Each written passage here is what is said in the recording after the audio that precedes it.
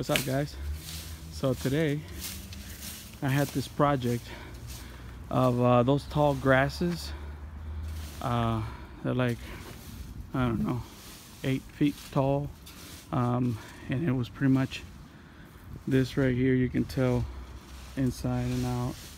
Um, we got one, two, three, four, five, six, seven, eight, nine. I'm here and then we got about five or six over there and probably six right here in this area. So we fill up all this. We did this little cleanup project. It wasn't like a full cleanup. It was just the customer wanted to get that tall grass out of the way which I have a picture. I took a picture um, which I'll show you guys. I'll show you guys in a little bit. And we clean a couple we cleaned this side too. There was a bunch of uh, grass here and also tall grass right there. It was pretty pretty much dirty around here all the way. Customer wanted to be cut this one's too. Um, and then he she had a vine right there. I don't know if you can see right there. It was really tough to get it off on the top but everything else was pretty much taken care of.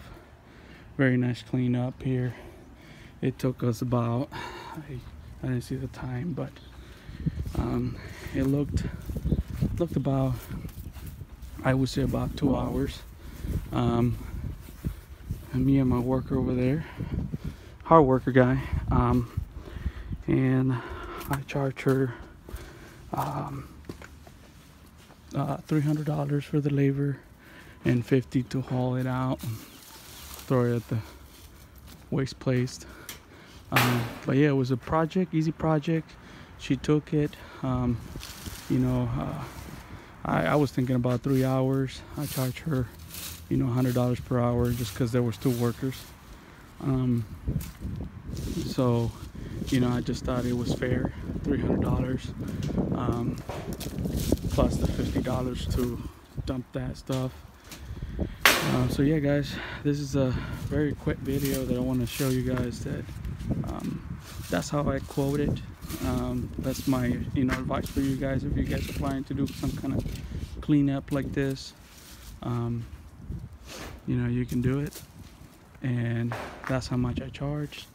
You know you guys leave a comment uh, what you guys think about the price and how much you guys charge for this uh, but that's how much I charge here in Indiana.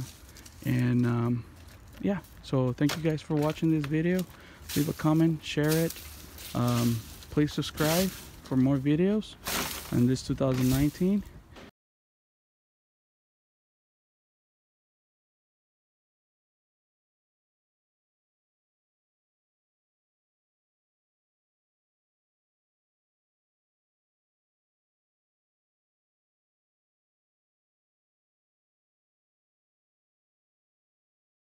as I was saying, I'm sorry, customer showed up, so um, so it was this was a very quick um, cleanup, and let me walk you through the inside because I did not did that and I forgot, uh, so I apologize for that.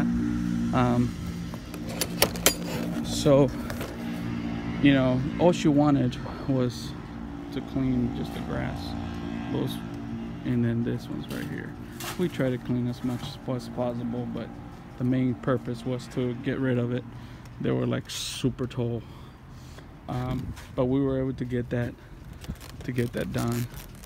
Um, and amazing amazing guys the only thing that I used to do this type of cutting and it makes it very simple to do this um, to cut this type of grass is what I use is my everyday Husqvarna trimmer.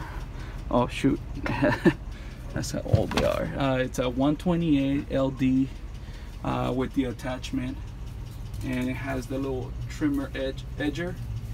Um, so I just use that edger, use some pliers or cutters like that, my blower pretty much and an extra hand. Um, I didn't, we didn't even use the little barrel, whatever you call wheelbarrow. Um, but it was a very easy easy job. Uh, we started at 5 and we got done at 6:45 so it wasn't even two hours. Uh, I quoted for three hours you know for two workers. I say you know hundred dollars per hour so you know plus the fifty dollars. But it, it doesn't take that much equipment to do this type of jobs guys. Just you know advertise yourself uh, do some kind of cleanup. But this did the job um, for the most part. Obviously you also need to rake it but other than that everything was good. So this is the beginning.